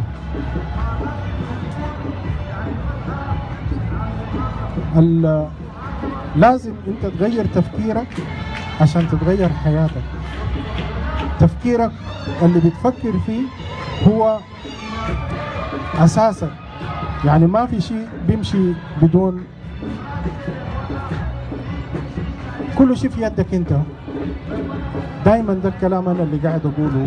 الإنسان في يده هو يختار ال- الحياة. اللي عايز يعيشها أنا ما بقبل لكم أي واحد إنه يعيش أقل من الحياة اللي بيستحقها.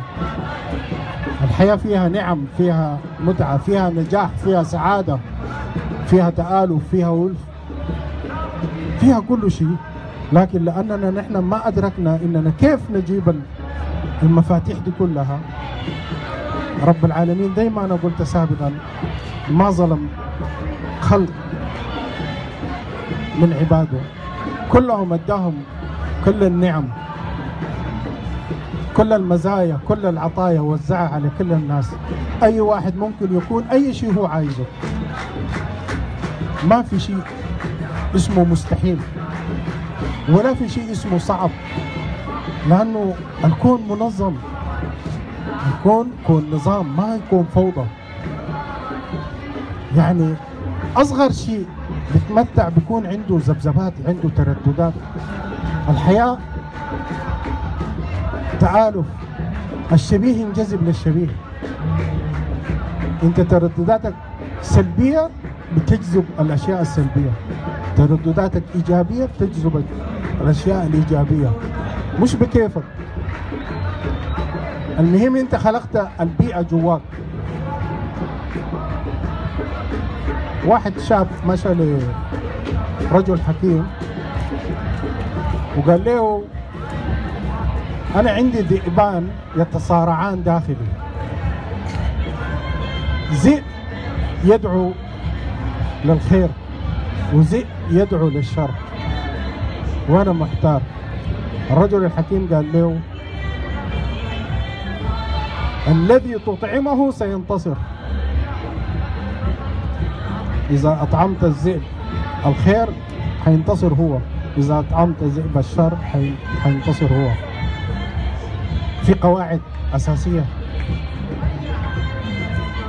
علشان أنت توصل لأي درجة يعني فرضا إنك أنت عايز تكون إنسان ناجح.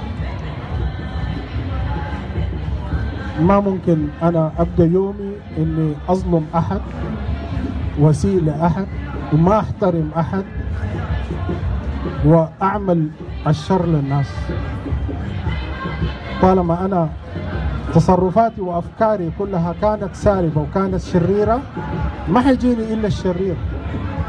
عقل المرء إذا احتوى على أفكار شريرة فإن الألم يتبعه تماما كما تتبع العربة عجلات الحصان. نفس الفهم. عجلات دي اللي بتطبع الح- الحصان طالما مشى العجلات وراه نفس الشيء. انت فكرت في الألم؟ فكرت في الشر؟ حتتبعك نفس الشيء. عجلات ال- العربة تتبع زي ما تتبع الحصان حيتبعك الألم. إذا كان عقلك فيه فضيلة فيه خير أكد إنه السعادة حتتبعك زي ظلك. بالتأكيد وتماما. فدي دعوة علشان إنه الواحد يكون موفق في حياته يكون ناجح لازم يتلمس طريق الخير. ما يسيء لأحد يحترم الناس يعمل الخير للناس يساعد الناس يخدم الآخرين. أنبل صفة هي خدمة الآخرين هي صفة النبلاء تأكد طالما أنت ساعدت الناس رب العالمين بيسخر لك مين اللي يساعدك. أنا أكتفي بالكلام ده لأنه الموضوع أنا اللي بتكلم فيه أنا متأكد في ناس ممكن بتكون في أسئلة كثيرة جواها. إنه كيف ال- الأفكار حقتي اللي أنا ما لي يد فيها هي ممكن تتحكم في حياتي. ودي الحقيقة. أي فكرة في راسك؟ نحن زي ما قلنا في الحلقة الماضية إنه العقل بينتج يوميا ستين ألف فكرة. نوع الأفكار دي بتوقف على شخصيتك على بيئك على مجتمعك على دراستك على مستواك على أشياء كثيرة. ممكن الستين ألف فكرة دي يكون فيها أربعة خمسة أفكار إيجابية. البقية كلها تكون أفكار سلبية بتعمل لتدميرك أنت. لازم نتخلص من أي فكرة سلبية بسرعة وبحزم. أفكار سلبية بتقودنا. يعني زي ما قلنا إنه الأفكار السلبية بتضغط على الإنسان عشان هو يجسدها في أرض الواقع. ودائما الأفكار بيقولوا إنها بتتربى وبيتم تدعيمها في القلب. يعني مثلا زي جريمة الإبادة الجماعية يعني هي بالتأكيد المتخذ القرار ما ما بين ليلة وضحاها. دي أفكار اتربت في قلبه وفي عقله وتم تدعيمها وساعد الجل الوقت المناسب لاغتنام الفرصة لارتكابها فقط إنها هي كشفت عن الأفكار الشريرة اللي جواه يعني ما ظهرت في نفس اللحظة. دي بذرة كانت بتنمو جواه فعشان كده نحن لازم أي بذرة شر نتخلص منها. بعض الناس بيقول لك بذور الشر إذا هو ما قدر يتخلص منها يطلعها لبرا يعني يحاول يكتمها داخل ال- ال- العقل الباطن. بس هي حتطفو مرة أخرى. لازم نتخلص منها. وديفنتلي يعني بمنتهى السهولة ممكن نغير كل الأفكار الشريرة كل الأفكار السالبة الغير ضرورية اللي ما لها لازمة. هذا ما انتهيت إليه. فإن أصبت فمن الله وإن أخطأت فمن نفسي والشيطان. وشكرا إذا كان في أي أسئلة أنا جاهز. بس أرجو إنه دائما السؤال يكون مختصر يعني ما يكون طويل عشان ما يتوهنا هل جزاء الإحسان إلا الإحسان؟ وهل جزاء الإحسان إلا الإحسان؟ نعم في في يعني في حاجات أنا داير دائما داير ألفت عليها يعني الكلام إحنا اللي بنتكلم بنتكلم فيه يعني علم الطاقة الخفية علم ال- الماورائية علم الجاذبية. دي كلها علوم اكتشفت حديثا.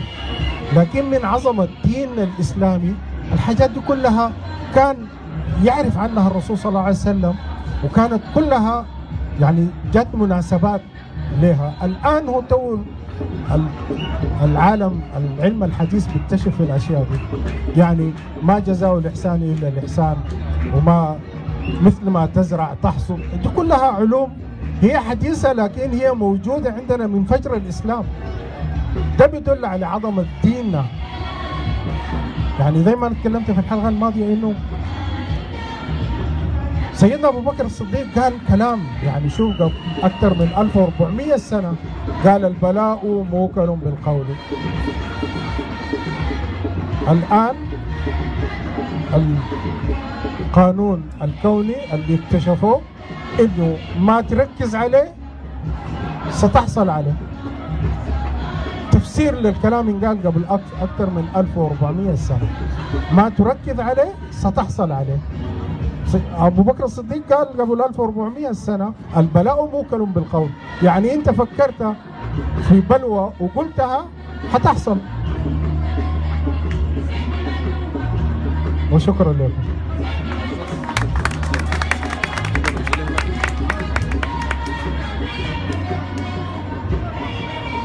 السلام عليكم ورحمة الله تعالى وبركاته. يا أسألك في آه، في الحالة النفسية بعيش بها المجتمع السوداني عامة على الظروف الضاقة آه، أنت تحدثت عن الحالة النفسية آه، تواجه الشخص أو يعني تواجهنا نحن ك كشعب سوداني عامة.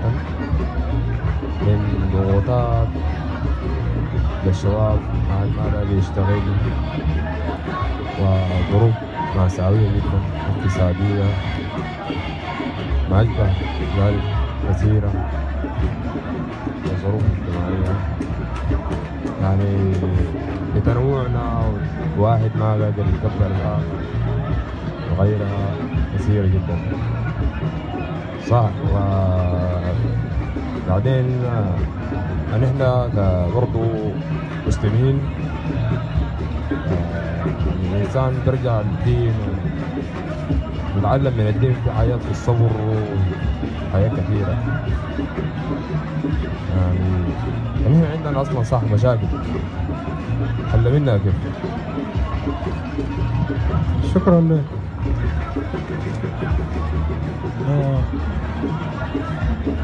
أنا تكلمت عن الكلمات السالمة. حاليا أنت بتغذي فكرك بكلمات سالبة بتغذي فكرك وعقلك الباطن بتغذيه بمعلومات إنه أت- أحلها كيف؟ ما في طريقة ما في قروش صعبة ما في شغل. خلاص أنت برمجت نفسك على معلومة معينة. الكلام انت اللي بتقوله بينك وبين نفسك ده جسدك ده شوف عقلك ده كأنه إنسان قاعد جنبك. أي شيء أنت تفكره فيه بنفسك عقلك بيكون عنده خبر. عنده خبر للمعلومة فبالتالي بيقوم بيوزع المعلومة لجميع أعضاء الجسم. يعني فرضا فرضا أنت عندك عايز تتهرب من أي زول؟ مثلا واحد هو بيتصل بيك وأنت عايز تتهرب منه. قمت قلت له أنا معلش ما بقدر أجيك لأنه عندي صداع وتعبان ومريض. وإنت لا كنت عندك صداع ولا تعبان ولا مريض.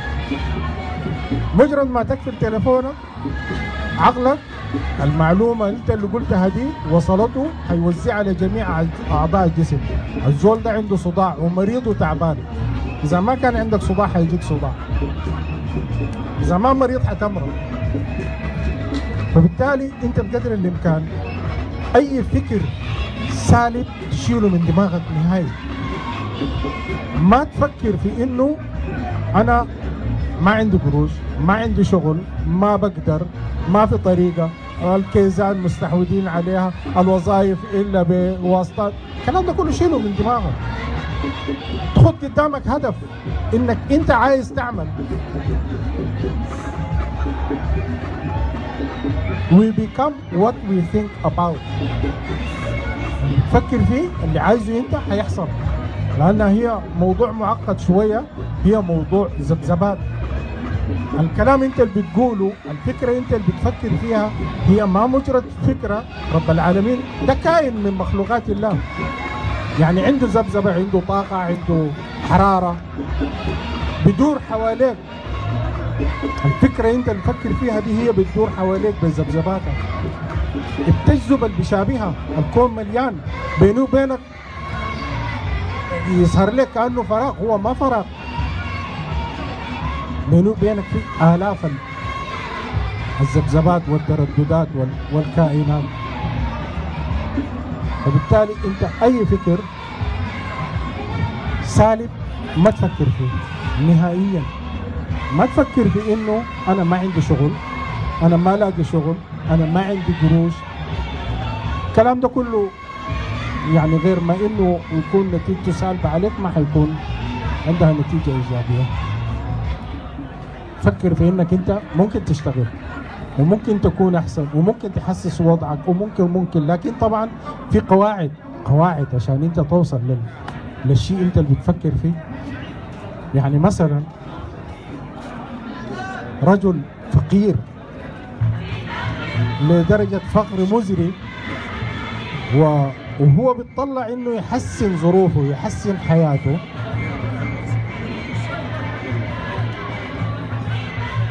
ورغم كده هو ما ملتزم بشغله. يعني يمشي الشغل ممكن متأخر. ويتكاسل وبيحاول إنه يمارس الخداع مع مديره إنه أحيانا أنا مريض والله الولد وديته والله إيه. يعني عنده ممارسة لأمور كسل وخداع. وهو حسب فهمه بيقول لك على حسب قدر قروشه ما أنا شغال. له وفي نفس اللحظة هو بتح... يعني بيسعى إنه يحسن وضعه يحسن ظرفه يغير من حياته. هذا الشخص مستحيل إنه هو يغير شيء بالعكس حيزداد بؤسا على بؤسه. لأنه الأفكار اللي جواه هي أفكار الكسل والخداع. يعني ممكن ده يصحى من الصباح عشان يفكر في إنه كيف يغش مديره. مستحيل ينجح. شيل اي فكر سالب من من راسك. تصحى من الصباح تخليك إيجابي. دائما تتبع جوانب الخير. يعني حتى لو في الطريق أنت واحد أساء لك الله يسامحك. واحد محتاج مساعدة بساعده. كلها دي ذبذبات أنت بتجذبها لنفسك. ما تفتكر إنه يعني غير ثواب رب العالمين انها دي حاجات تايهة؟ بالعكس كلها ذبذبات. كلمة طيبة مع أحد ذبذبات ليك انت. قوة زيادة. طالما الواحد بيفكر في إنه صعب أي شيء ما ممكن حيكون ما ممكن. فغير تفكيرك عشان تتغير حياتك. دي هي النقطة. غير تفكيرك تتغير حياتك. شكرا.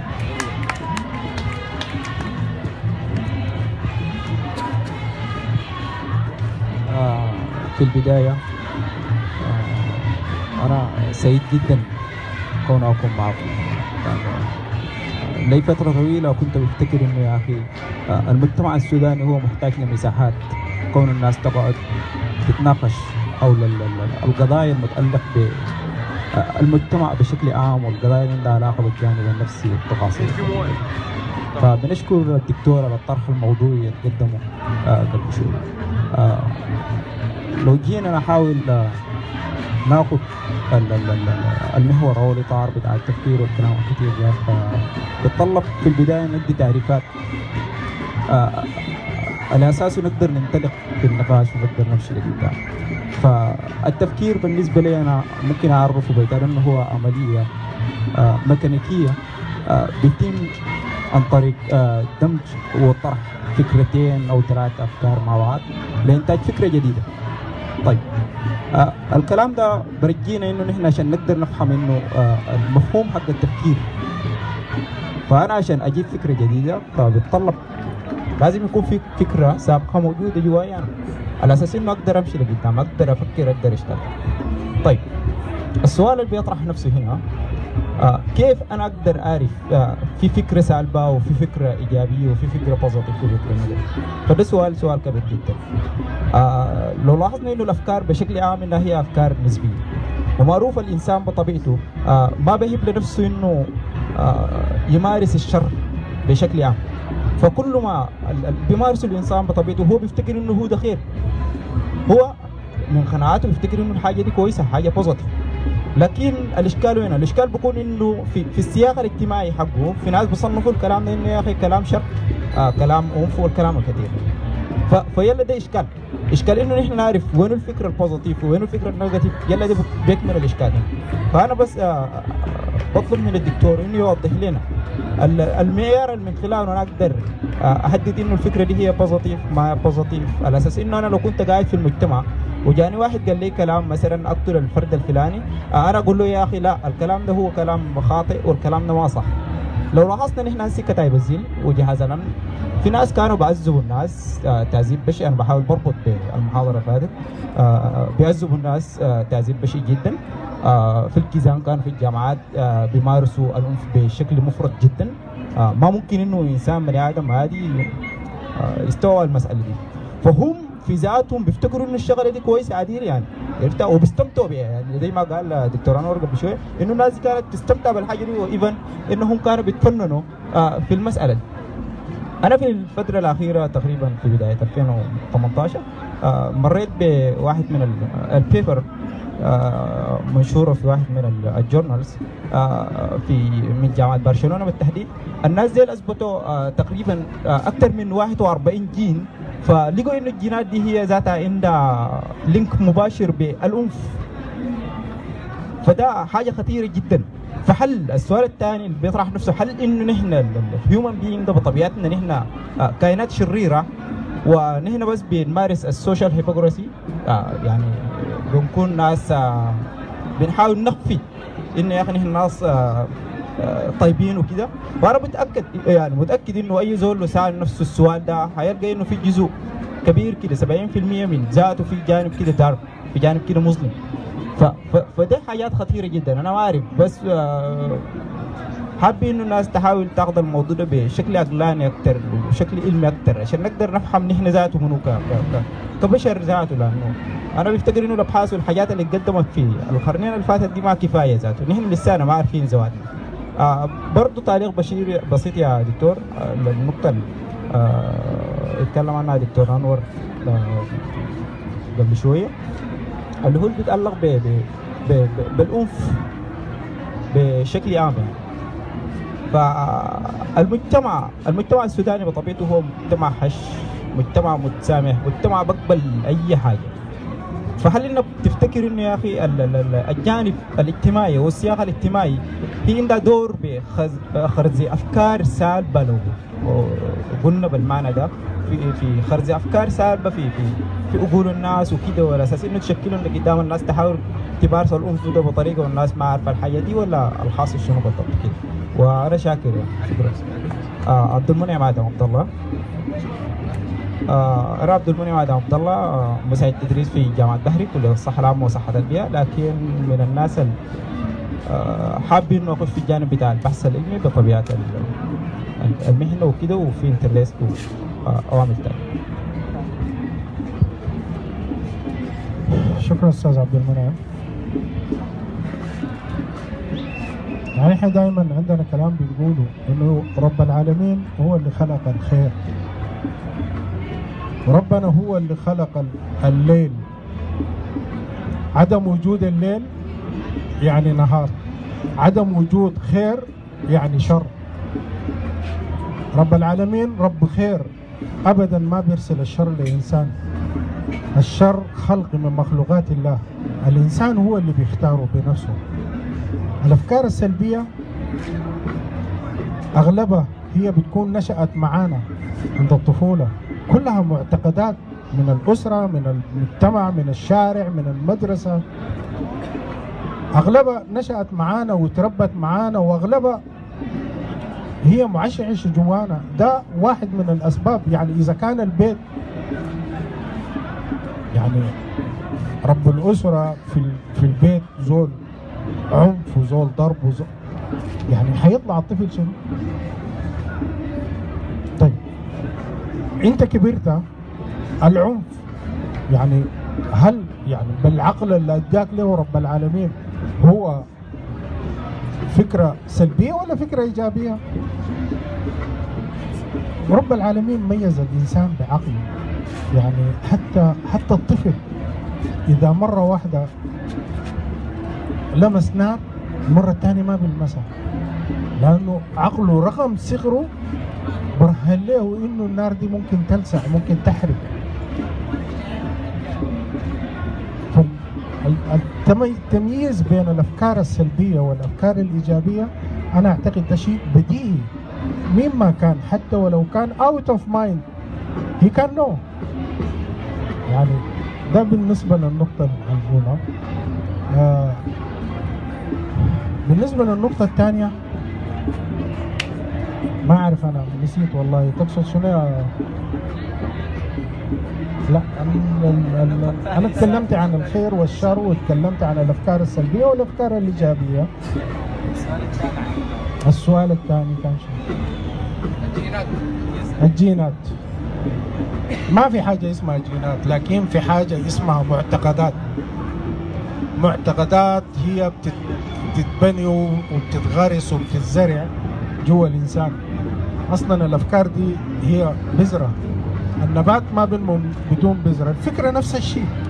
في بذرة خفية للأفكار. هي بتزرع جوا الإنسان. بتنمو معاه.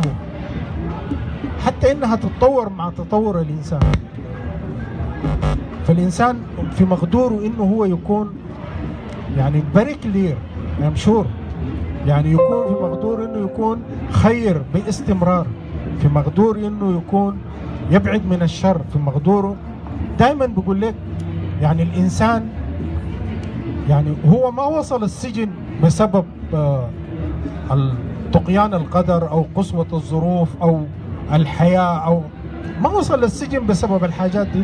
وصل السج- السجن بسبب أفكاره الذليلة ورغباته الخسيسة. الأفكار الذليلة دي متربت معاه. حتى حتى الإنسان صاحب ال- ال- ال- ال- الفكر النغي ما بيقع في الجريمة فجأة ولا بيقع في الجريمة بسبب ضغط من أي ظرف من الظروف. التفكير الإجرامي بيكون إنه يتربى وتم تدعيمه في القلب لفترة طويلة لحد ما بيستنى الساعة ساعة اغتنام الفرصة إنه هو يرتكب جريمته الجريمة دي أنواع يعني حتى لو إنك أنت تشتم لك زول هذه تعتبر جريمة. جريمة مش معناها إنك أنت تقتل. أي إساءة لآخر جريمة تعدي على حقوق الآخر جريمة. ال- الشيء اللي شايفه أنا كمان بالنسبة لنحن مجتمعنا السوداني هو يتعرض ل- لهزة كبيرة جدا جدا خلال الثلاثة عقود الماضية. يعني حسن أنا لما أشوف لي من الشباب ديل واحد هو ماشي براه تلقاه ويقول لك مدنية الناس دي بتعالج نفسها يا جماعة قاعد تنظف نفسها. ده كان كبت كان كبت جوا الشباب ديل. الشباب ديل عاشوا أسوأ أسوأ حياة. هم شباب السودان. ثلاثة عقود. ناس معزولين من كل شيء من حياة من سياسة من مشاركة من وظيفة من تكوين أسرة من أي شيء معزولين. يعني لدرجة إنه الواحد كان بيحس إنه الشباب دول كأنهم أخفوهم جوا بطون أمهاتهم. ما في شباب. فجأة يعني طلعت لنا. ده, ده كمان يعني حتى حاجة هتعمل ربكة كثيرة في العلم الحديث.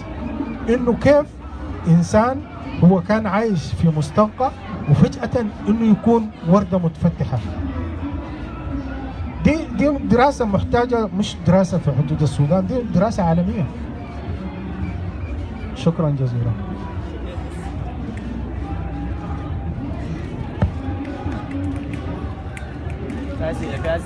مع- معلش يا شباب بس لأنه البرنامج الثاني بتاع نادي المخاطب بتاع اللغة الإنجليزية مواعيده جات فممكن الناس تتكلم مع الدكتور مباشرة. في في ال- في البناء ده نختم إحنا اللايف داسي فممكن آه، توقفوا عشان نبدأ ال- البرنامج اللي بعده. فممكن الناس تتكلم مع الدكتور يا اخواننا خلف المنصة.